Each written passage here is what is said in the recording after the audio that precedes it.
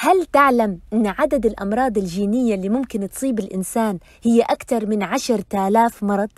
تعرفوا شو يعني؟ يعني أنت لو إجيت سليم على هالدنيا يبقى ربنا حفظك من أكثر من عشر تالاف فرصة مرض ولو عندك مرض أو حتى مرضين يبقى ربنا حفظك من تسعة آلاف وتسعمية وثمانية وتسعين مرض غيرهم الإنسان في هاي الدنيا عامل زي زي المشهد تبع تحدي السموم في فيلم جامعة المرعبين بتعرفوه إحنا عرضة لأخطار لا تنتهي لولا حفظ الله.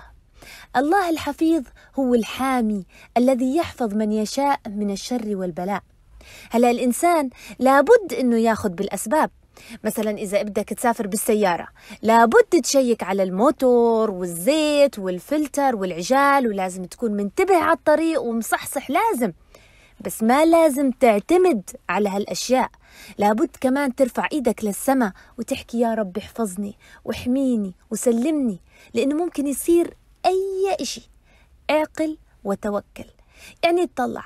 هدول ناس قاعدين جوا بيتهم جوا غرفتهم بالدور الأول وإجت سيارة خبطتهم. ما لم يتولى الله جل في علاه حفظ صحتك وسمعتك وأهلك ومالك فالخطر موجود. كاسة شاي ممكن تخرب لك وجهك. شمعة صغيرة ممكن تحرق لنا البيت. إحنا محتاجين لحفظ الله. تاني معنى لاسم الله الحفيظ هو الذي لا ينسى. كل أفعالك وأقوالك وأفكارك مسجلة في كتابك. ولا توجد قوة لإلغاء ما عند الله. هلا أنت إذا عملت مخالفة سر ورحت تتفلسف عليهم إنك ما عملت شيء أبسط شيء حيجيبوا لك صورة المخالفة. ما مشيت على هالطريق؟ مش هاي هي سيارتك؟ مش هذا وجهك الحلو؟ إيش هذا؟ لو كمان مش حاطط الحزام وبتحكي بالتليفون هي كمان مخالفتين يا حبيبي. ولله المثل الأعلى. يوم القيامة تعرض أعمالك عليك بصورها وبتيجي بتعترض بتقوم بتشهد عليك الأرض وبتشهد عليك إيدك ورجلك وعينك ولسانك ويي بتحكي يا ريتني ضليتني ساكت. المعنى الثالث لاسم الله الحفيظ هو الذي يحفظ المخلوقات ويبقيها على حالها ويصونها من التلف. الشمس كل يوم بتشرق وإحنا بنحط مواعيد وبنخطط والحياة على الأرض كلها معتمدة على أنه الله حفيظ. وحيخلي الشمس تشرق بكرة. إن الله يمسك السماوات والأرض أن تزولا. إحنا موجودين لأنه الله خلقنا وإحنا لساتنا عايشين لأنه الله حفيظ. كل عضلات الجسم تتحرك عن طريق الكهرباء اللي جاي من المخ. إلا القلب عنده لحاله ثلاث مصادر للكهرباء. عشان إذا خرب الأول يشتغل الثاني وإذا خرب الثاني يشتغل الثالث. الله حفيظ. وين الدماغ محفوظ في الجمجمة؟ وين النخاع الشوكي في العمود الفقري؟ وين العين في المحجر؟ فالله خير حافظا. يبقى الحفاظ على الشيء لا يقل أهمية عن إيجاده.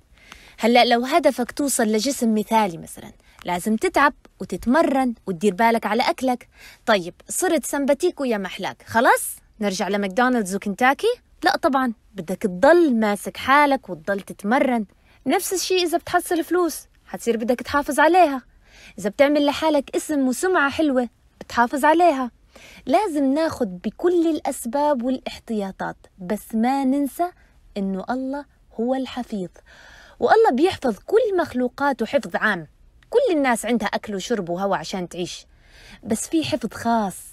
معاملة خاصة في اي بي بتحس فيها إنه الله مش بس بيحفظك لا وكمان بيحبك وبيلهمك ويرفع قدرك وبيوفقك وبيرعاك. وإذا بدنا هاي المعاملة الخاصة لازم ندفع حقها. شو حقها؟ احفظ الله يحفظك. احفظ الله تجده تجاهك. احفظ صلواتك. فلوسك طلع زكاتها. احفظ سمعك وبصرك عن الحرام. اذكر الله على طول.